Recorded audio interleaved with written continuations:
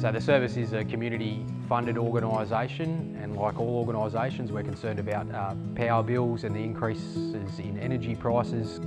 I've lived on the coast for over 15 years and I've watched my kids growing up doing nippers. The beach life is such a, an important part of coastal living and Surf Lifesaving Queensland is such an integral part of this.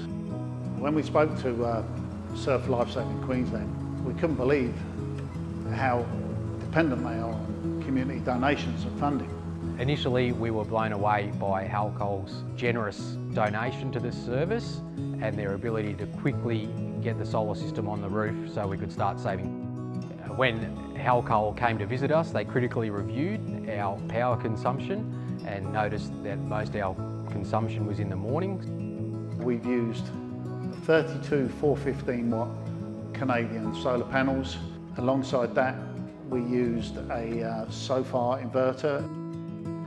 Surf Lifesaving Queensland this year, you know, we could see that the, you know, they really need support and uh, we, we feel privileged to have had the opportunity to, to do that for them. We're out there every day helping the community and it's great to know that the community is helping fund this vital service.